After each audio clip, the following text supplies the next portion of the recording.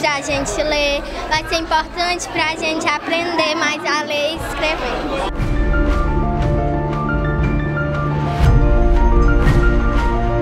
um imenso prazer a gente receber o governador Flávio Dino aqui na nossa unidade e comemorar com ele essa grande quantidade de atendimentos que é, não é tão vista em todas as unidades. Fizemos a inauguração do Mais Asfalto, também do Viva, da unidade do Viva, nós já ultrapassamos 50 unidades, eram apenas 5.